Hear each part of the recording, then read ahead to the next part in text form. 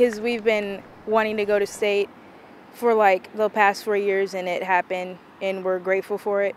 We go to a, a very tough sectional with Belleville, O'Fallon, Belleville East, Belleville West, Edwardsville. So to, to emerge out of that and go to state is a is a huge win for them. It feels good, like I've accomplished a goal, but not just like by myself, but with my twin sister. As they embark today on the swan song of their dynamite tennis careers, Phoebe and Lily Hayes do so with a noble purpose. Knowing that this is our last year, like playing tennis together, we can have fun and just enjoy and play like audience of one, play for God, because that's how we got here. It's for God. A lot of combined and collaborative court assets at the ready at Hoffman Estates. And they really have a lot of weapons that uh, other teams don't have. I mean, they hit the ball with a lot of pace.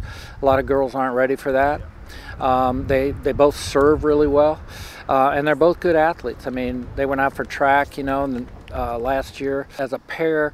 They're they're always in the match, whatever whatever it may be. They're really never out of it, and they're always capable of coming back. And yes, some twin telekinesis still working in their favor. There are some shots where we don't communicate, but like if we don't say switch for like when we're playing doubles, if I don't say switch, she'll automatically go to that spot because she knows that's where like to go and stuff like that. Sometimes, like when she goes to the other side of the court, you usually say switch, and half the time she doesn't do that. She just takes my balls and stuff and hits them into the net, but it's fine. Or it's fine. For the uninitiated and unfamiliar, namely opponents, it's sometimes difficult to differentiate between Lily and Phoebe on the court on first glance. Yeah, there is a team we played. They were confused on like which one of us was serving like that, but it kind of helps us we match together. Like they can't tell us apart when we match, and that helps like our strategy. Yeah, it's annoying because she's taller,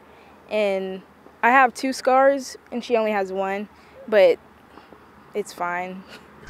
But the strength of why this duo works so well together, and on occasion admittedly not as well, is the individuality of these two talented young women who can morph from comedy troupe to reality show to triumphant sister act all in a single set. It's been like good because we have a connection with each other and we know what to do when we get on the court and we play together as a team. You know, I think playing with a sibling, sometimes it can be a little bit of yeah. uh, bickering back and forth. Does that ever happen between you two? Yeah, it has, but I just get over it. It's mainly her, but it's fine. I think it goes both ways. Like she's like funnier in general, but when there's a serious moment on the court, I try to like make it light and joke around with her. Probably I'm the funniest because she's boring and she's too like she's too serious when she doesn't know when to take a joke. They're obviously sisters, and and you know they they sometimes have issues like that, but but they really come together in big moments. I think.